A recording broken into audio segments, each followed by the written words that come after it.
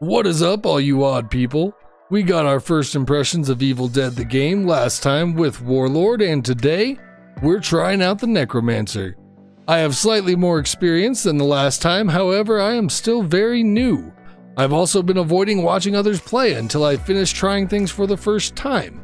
I'm not really sure what the difference is between Warlord and Necromancer, but we're gonna find out. Let's go torment some college kids. Alright, well, Evil Ash is looking pretty badass, especially in comparison to Henrietta, who was just looking kinda gross.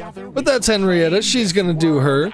If you guys didn't see our last video uh, with the Warlord, that was our first game ever that we had played. This is our second game, and it's taking place pretty much directly after that game. So we know a little bit more than we knew in that game, but we still don't know a ton.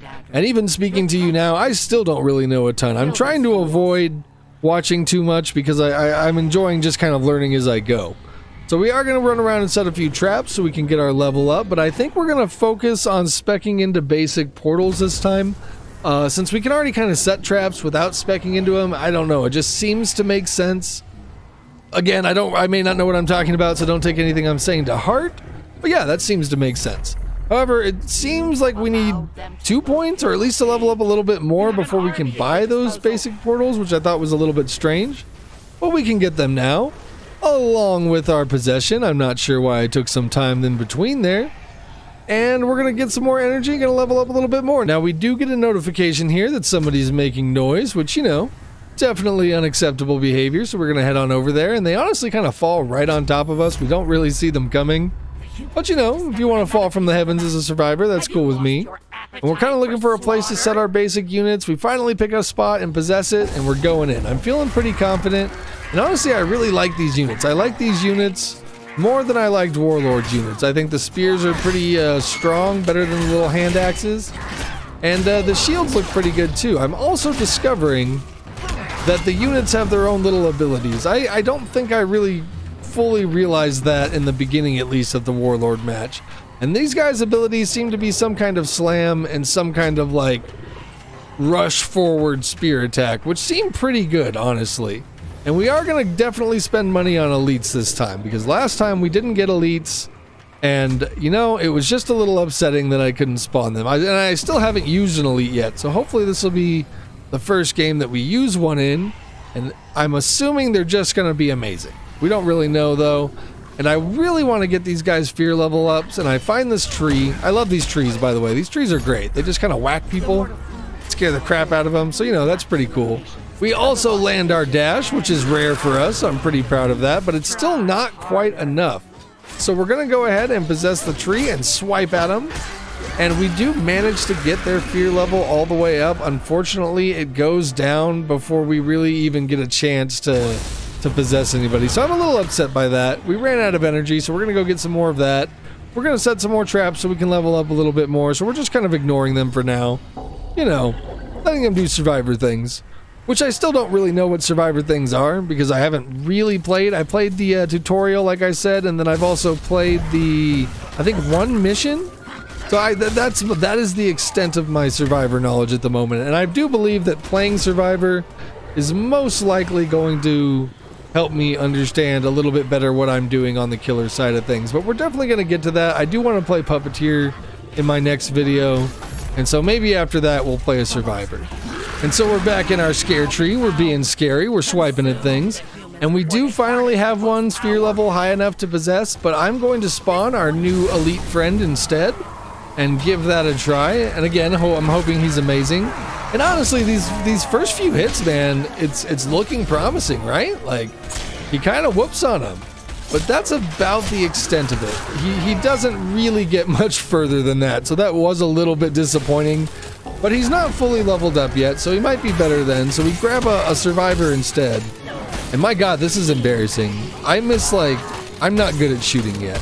I'm definitely getting some practice in as, uh, as the demon, so hopefully when I play survivor, I won't be super terrible. But yeah, that was pretty terrible. And also, I don't really know, again, what they excel at and what they don't excel at. I'm, starting to get a feel for it, but I, I can't tell if I'm supposed to be meleeing people or shooting people. We're figuring it out. But I am I'm, I am leveling up my units. and I'm hoping that we can get some good damage in with this possession. But again, man, look just just look how bad I am at shooting. Like I don't know what is happening if I'm having a seizure or something, but it's it's just not going well. Now, one of the things I've noticed now that I didn't know back then is the rate that I'm gaining energy right now. I think it's because we're within this active objective, but I don't know that for sure.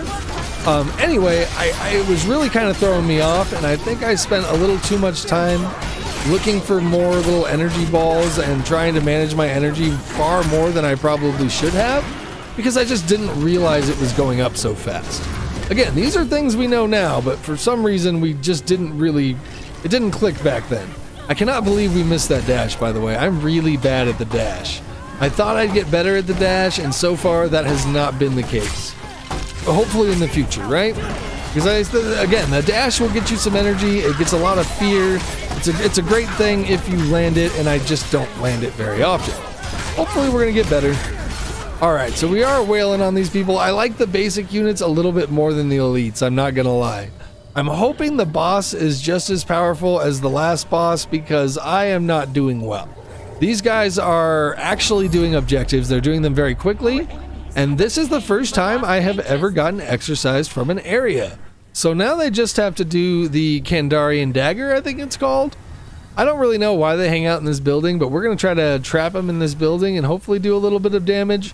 Again, so far we're not doing great. They're they're taking us out pretty quick. They seem to be a lot more efficient than the last group we played against, and I cannot land my dash to save my life, which is not helping. But we do spawn some basic units uh, since we didn't get the dash, so we don't really get to possess anybody, which is a little bit sad. And we are just going to kind of go off and try to intercept them as they're going through the forest. We're going to spawn a few more and then grab some more energy. Really, we're just trying to slow them down at this point. I'm not going to lie, I'm panicking a little bit because they're moving very quickly and I seem to be incredibly weak. I'm really hoping that the boss is just as strong as Henrietta because I think I'm going to need to be bailed out here again. And I bailed out quite a bit more than I was the last time since they're already they're already further than the last group. I don't think the last group ever finished the Lost Pages or the Dagger which is where they're headed now. So we are going to try to get straight to the dagger area and start setting up some sort of defense, right? Because we, we really do want to stop them. Um, or at least slow them down a little bit so we have a little more time to level up. And of course we level up by doing damage, setting traps. So we're getting in there, we're doing some damage. We're trying to we're trying to stop them as much as we can, and they honestly haven't even started yet, which is pretty nice. Um, again, I wish I knew about my Q at the time. I probably would have done a little bit better, but what can you do? And I also haven't leveled up any of the characters yet. I haven't leveled up any of the demons. I haven't leveled up any of the survivors. So I'm probably outclassed in that area for sure. I'm just not 100% sure how much it matters. I'm pretty sure it matters a lot based on the little bit I've looked into it. So we'll, we'll, we'll, we'll just have to accept that we're not going to be as strong as the people that have leveled stuff up. God, I love these trees. And the trees do manage to push them over the fear edge, so we're going to go ahead and grab him. Now, I, I was mistaking this guy for a hunter character instead of a warrior character, so I actually spend a lot of time trying to use his gun. And I just never learned. I don't think I figured it out until after the match that that was not the character I thought it was and instead it was Scotty. I think I thought his name. I think his name is Ed. I think that's who I thought it was. So I spend a lot of time trying to use his gun, and I really shouldn't have. I really should have just used his melee weapon. We did use our tree friend right there, but I'm pretty sure we missed entirely. I don't think the tree did anything, and I'm starting to realize that the tree has a cooldown. I, I guess I should have known that because it seems obvious, but I didn't know that. So I jumped right back in the tree and tried to use it. Didn't really work out. We are going to possess our not Ed friend again, and again, we're going to try to use his pistol, which is definitely not correct. But we think we're doing good at the like right now. We're like, ah, yeah, we got some shots in. Why didn't it do any damage? Oh well, it's probably me. No, yeah, it's definitely you. It's definitely you, buddy. We do have a lot of levels that we could be spending, and I don't know why it takes us so long to spend them, but we finally do. Still don't quite have enough to do boss stuff yet, but we are getting really close and our basics and elites are getting a little bit stronger. I do hope the elites get a little bit better as we go on. but given that the issue seems to be they're just really, really slow, I'm not 100% sure it's ever going to get better. I think those few hits from the first elite possession are as good as it's going to get. I really like these basics though. I like their move set. I like that they seem to do a lot better than the Warlord's little basic units. Yeah, the skeleton basics are pretty badass. And I'm not really second guessing my decision not to level traps either. It seems to be working out fairly better, fairly well. Now these guys are doing better than the last guys, but I think that's just because they are better than the last guys. I don't necessarily think it's because I leveled traps with the last guys and not with these guys. I'm pretty sure there's just a fairly decent size skill gap between the two groups. All right, so we did get exorcised again. We're gonna head straight over to the dark ones because we're, we're, we're setting up traps. We're getting energy. We're getting ready because this is definitely where they're gonna head to. This is the site of their last two objectives. Once they get past the Dark Ones, then they have to protect the Necronomicon, and we either have to destroy the Necronomicon or kill them. Or keep them from getting past the Dark Ones, ideally. But we don't do that, I'm pretty sure. We are going to immediately start spawning in units, though, and we're going to try to stop these guys from doing any significant progress over here, or from getting any significant progress, excuse me. And this is probably going to be the site of the last showdown. I don't imagine they're going to end up running away from me, considering I don't do a lot. I, I, try to do a lot, but I don't really do a lot. Now, we do manage to get Scotty pretty low here. I think we do take him out. But I, what is that? Is that my first down this entire match? This might be my first down this entire match. I'm pretty sure it is. I'm having a little bit of trouble remembering, but I'm pretty sure that was the first down. Which is a little sad, considering how far they've gotten. But we do see a target that we can possess, so we go ahead and grab her. And again, man, come on. Now, I think that one would have been a hit, except they were in iframes, but still, like, how many shots am I going to miss? How many? Now, we do get a couple in while she's hiding, like, around this tree, but what the heck was that? Anyway, but yeah, we just don't, man, we did not have a successful possession basically at all this match. At least not a successful survivor possession. We had a little bit of stutter framing there, which is frustrating, but what can you do? I'm sure they'll work the kinks out eventually. Luckily, their Scotty friend did die. That is basically the end of him unless they somehow revive him, which I don't think they're really going to be able to do given their position right now. I guess they could just full retreat right now and maybe they'd get away with it. I'm not really sure. But we spend a lot of time getting energy because we don't realize that we're getting a nice amount of energy just from being within uh, the zone of this uh, of this objective. But we do get to spawn in our boss unit finally. And again, I'm really, really hoping that this boss unit's to bail me out. I'm not 100% sure what my abilities are doing at the time I'm using them, but we did summon in some zombies with our 3 ability, and we did put in our uh, reviving zombie aura with our 2 ability. No, 4? I think it's our 4 ability. Anyway, we're still learning. We didn't actually know that that's what we were doing at the time, but I figured I'd point it out now, since that's why there's so many skeletons running around. And so far, it's going good. We've killed one person. We have one person bleeding out. And now we just have to stop these two. Now, I don't know why this individual just stood here like I wasn't to just whack on them because they weren't moving. But they did. And our units are stepping in to help us. We actually do really well here. I like Evil Ash. I like Evil Ash a little bit more than I like Henrietta if only because I don't have to stare at a rotting ass. I, I, can't emphasize how much that's a positive for me.